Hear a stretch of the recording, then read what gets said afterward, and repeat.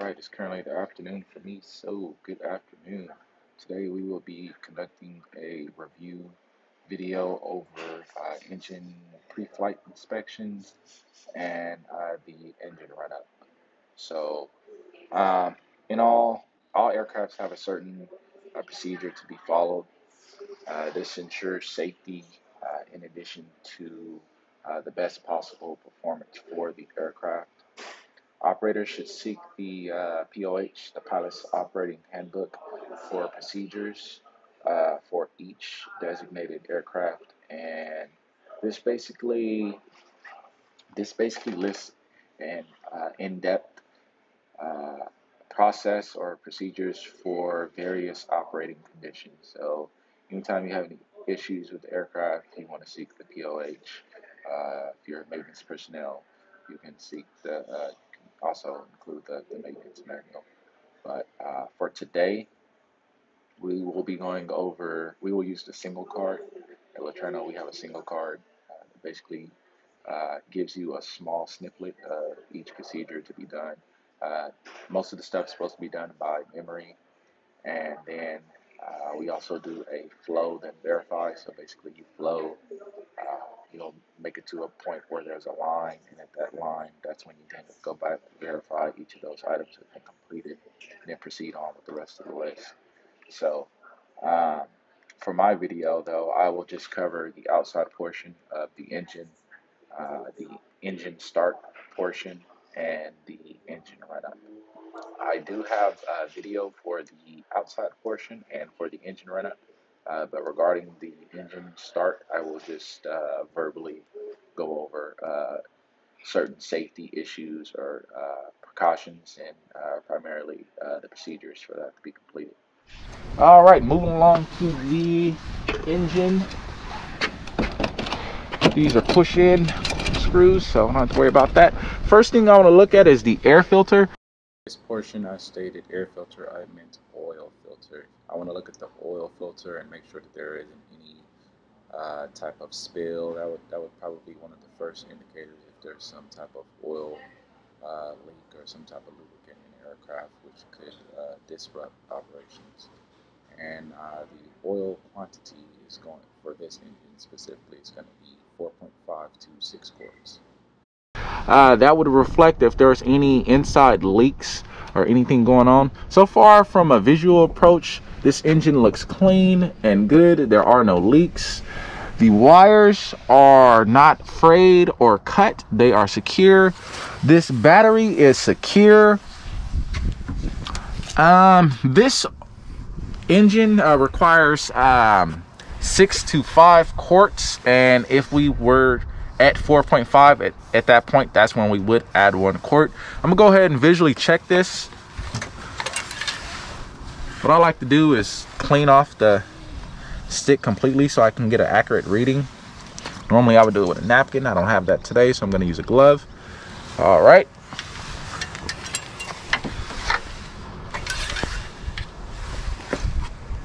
Oil reflects five that is sufficient. We are good to go for flight. And you don't want to turn this too tight. Um, we actually had a couple instances with this.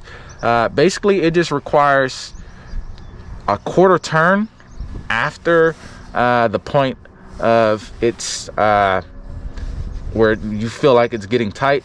And the reason that is is in flight uh, oil is going to get hot. This whole engine compartment is going to get hot. And if you turn this too tight by the time you land the next person won't be able to um, or possibly not be able to, to, to pull this off due to the heating. The metal expands and then it contracts. So all right closing up the engine compartment. Let me verify this make sure this is closed properly. Quarter turn we got that and these aren't like screws. You don't need to just keep turning. It, it doesn't work like that. You just basically push this mechanism this mechanism in and turn it. At that point quarter turn turn it and we are good. Moving on to the exhaust. We're going to verify the exhaust. Exhaust is good. There's no dents or dings on this propeller uh, side Uh, I don't see anything that could restrict airflow within the engine. There's no bird's nest, no bees. Here on this alternator belt, I'm gonna do a quarter turn. Quarter turn, it is sufficient. Moving on to this hub, secure. This landing light is clear. This air compartment is clean. There's nothing to restrict airflow. Uh, so we are good to go for flight on that portion. Move along to this propeller. I don't feel any dents or dings on this side. And on this engine side, uh, there is nothing to restrict airflow. Um, I don't see anything out of order. Uh, there's no leaks or anything under the aircraft. And this portion, uh, this consists of the uh, pre-flight portion on ground. And uh, moving on, I will do the engine run up and reflect that portion. I will be completing this scorecard off of memory and it should be included uh, on this uh, presentation somewhere. Uh, so uh, this is the portion I spoke of, basically a flow and uh, read and do, uh, flow and then verify and check visually. so starting off, ensure you, you yell clear. you want to clear the area, make sure no one's around. Um, alarm people that hey, you know, engine's about to start. You know, you may get hit by some prop blast or, or so on, or some type of debris if you're not in the area, or even worse, you know, we don't want anyone uh, in front of the aircraft. So we, we yell clear. Uh, next, at that point, we verify, we check, uh, we turn on our master switch. Um, depending on the aircraft you're in, some aircraft you have to have on the navigation and strobes for uh, certain calibrations in the aircraft. So uh, we yell clear, for me in this aircraft, Checker 93, we just turn on just the strobes. Um, at that next point, you want to turn on your left magneto, right magneto, and uh, ensure that you yell clear prop at this time. Verify, make sure no one's in the area. Uh, we yell clear prop, we got that out the way. And uh, moving along, uh, we're going to start the engine. Uh, depending on if the if the aircraft's been sitting for a while, uh, if the engine's hot or cold, there is uh, different there is different priming uh, for it. Uh, you want to make sure you don't over prime. But uh, for a hot engine, essentially it needs no prime. Um, cold engine, there's a whole different process for that, and the POH basically states that it's going to be two to six pumps of the prime. I would start off with two. Um, and then uh, you want to uh, engage the starter at that point. Um, engage the starter, um, let the prop turn for about five props, and then you want to uh, ease in with the throttle. Um, and now, let's say you possibly flooded uh, the, the aircraft, then uh, what you want to look out for in this instance would be possible engine fire that could happen. Um, you want to let uh, you, want to ensure that that fuel shutoff valve um, is off and uh, let let's say that there is a fire uh, so ensure that it's off and you want the engine basically to to consume that fire so you still start the prop. Um, finishing up with our checks uh, we've started the engine. Um, at this point uh, I want to check and make sure the engine gauges are in the green uh, first thing is the uh, engine oil. If the engine oil isn't in the green within 30 seconds, um, at that point you want to shut off the aircraft. If something's wrong. Uh, could be uh, low pressure, high pressure, or, or, no oils. Something isn't right, so shut the aircraft off, uh, depending on uh, what the policy states. so we check that, the ammeter's charging. ensure that the primer is locked. Do a couple of turns or so on. Um, uh, visually verify that it's locked. Uh, next, uh, you want to lean uh, for taxi, uh, lean that throttle for taxi. we don't need to run so rich to the point um, in taxi where those spark plugs get fouled or so on, or you know, we still have the possibility of, of detonation and uh, pre-ignition.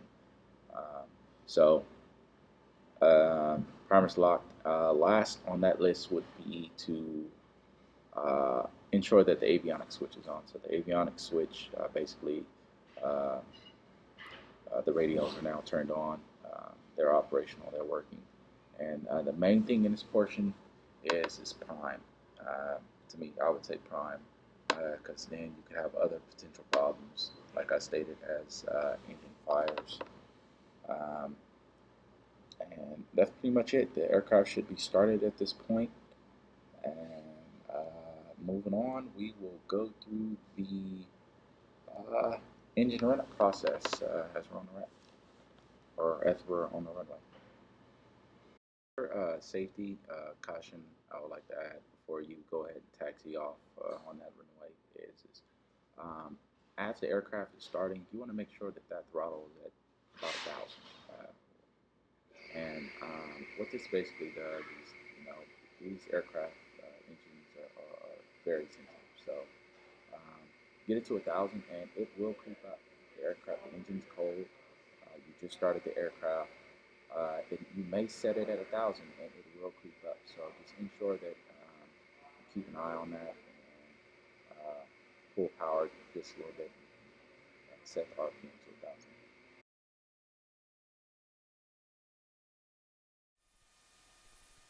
All right, let's do a audio test since it's now on. One, two, three, one, two, three.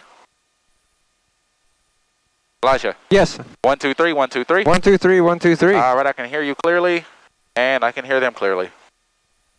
All right, so starting off, gonna set our brake.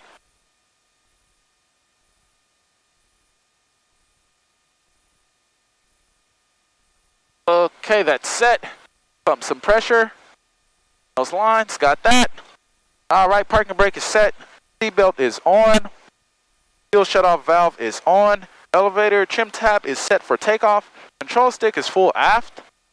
Now at this portion, we're going to uh, start our uh, engine run up, and that'll uh, allow us to see if there's anything going on with our mags and uh, the carb heat. So, going to 18.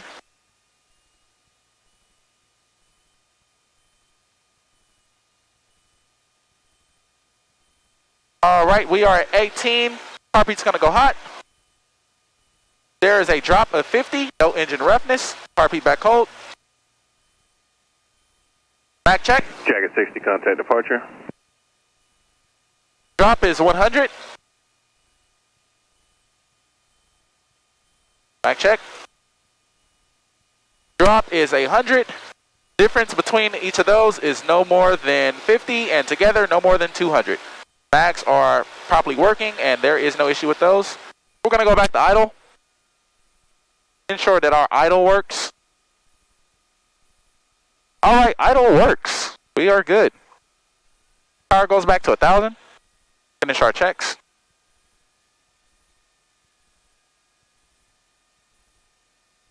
Alright. So altimeter, currently we have 420 on our reading. We are within 75 feet of airport elevation. This one is showing 400. So we are still within 75 feet of airport uh, elevation. Uh, moving on.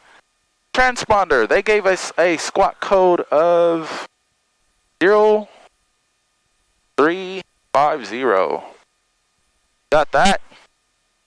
Doors, let's check, make sure our doors are latched. Uh, you got the last latch, cool. Did, yep. So our doors are latched, we are to the line. Go ahead and verify this list. Parking brake sec, got that. Seatbelt on, got that. Fuel shutoff valves on, got that.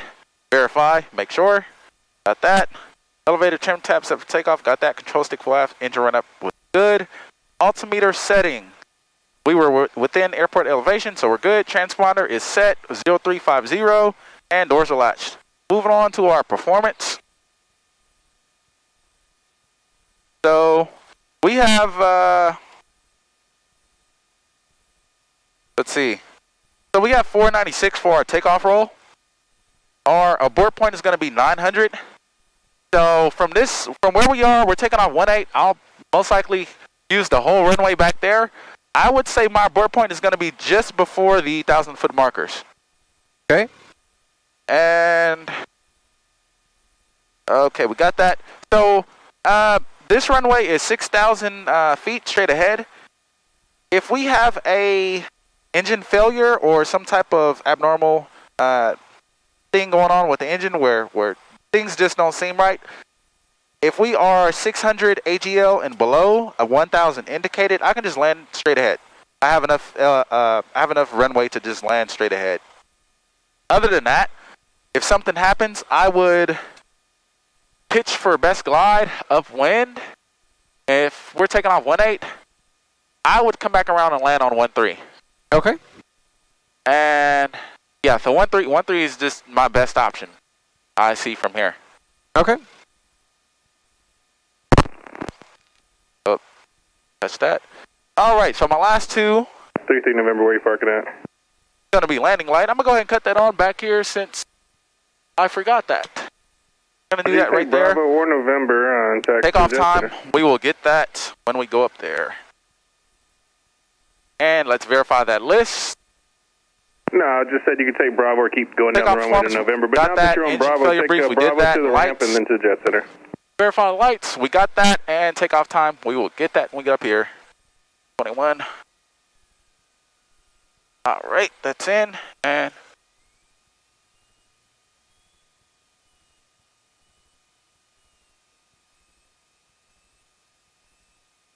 And I'm going to pull up to this whole line so they know that I'm ready. I'm getting ready to make a call. Not make the call back there. Oh, okay. And uh, where this wind's coming from before I even check that.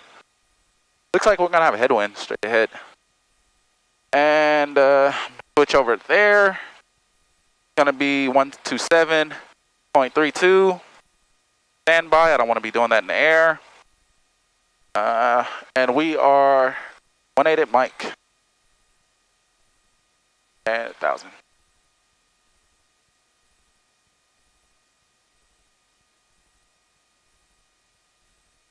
East Texas Tower, Jack 93, 18 at Mike, ready for takeoff.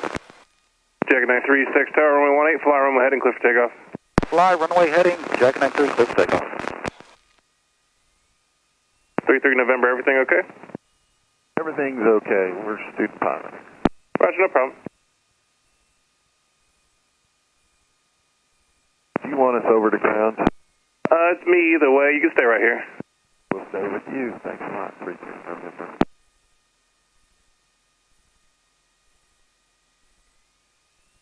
Yeah. All right, cool. All right, no fire or smoke. Fuel capture secure because I don't see any fuel leaking off the back of the aircraft. Engine gauges, oil pressure is in the green. Ammeter is in the middle. Our uh, climb is at 600. Just below 700 was what we had expected. All right, that concludes my engine pre-flight inspection and engine run-up. As you can see at the end, I did include um, the phosphor check, which is no fire, oil, or smoke. Fuel capture secure, engine gauges are in the green, and rate of climb is, uh, you want to ensure that that matches up with the performance you had. And uh, I just included that because it, it'll just uh, give you a uh, proper assessment of whichever flight was conducted um, and uh, how the engine was operating. So all the way until going into climb and level off and returning back home to base, uh, the aircraft was operational.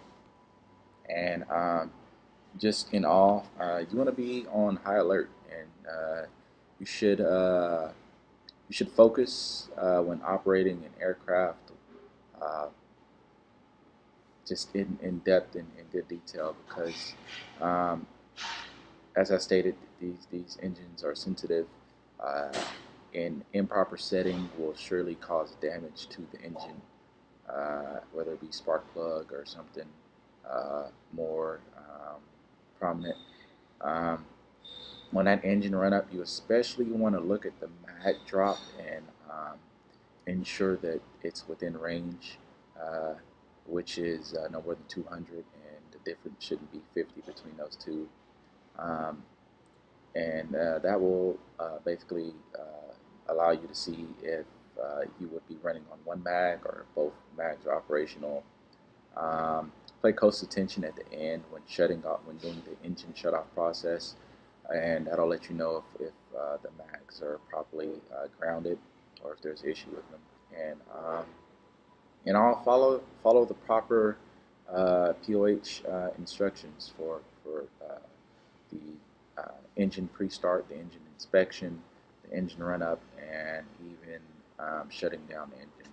And you would have safe, flight. And that concludes my uh, video report.